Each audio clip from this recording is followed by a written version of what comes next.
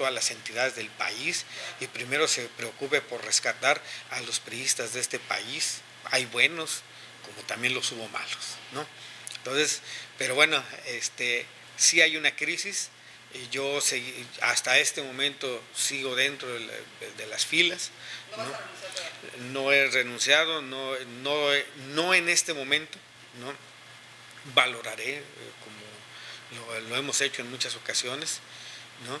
y este, veo el nacimiento de, otros partidos políticos.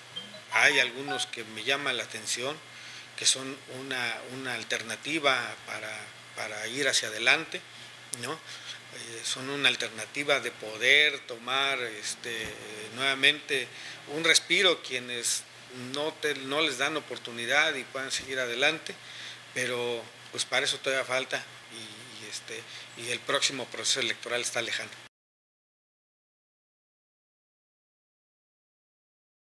Pues que, digo, ella tiene algunas dificultades, algunas dificultades, creo que la deuda que tiene todos los municipios y muchos estados del país con la población, y no se lo atribuyo a quien está, ¿eh?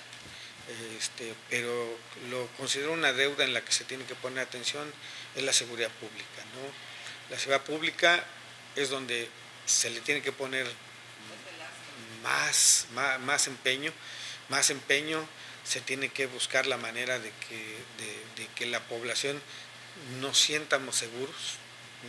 Se ha perdido esa sensación de seguridad en nuestro Estado, en el Estado en general, en el país, es más, en el país, en el país, ¿no?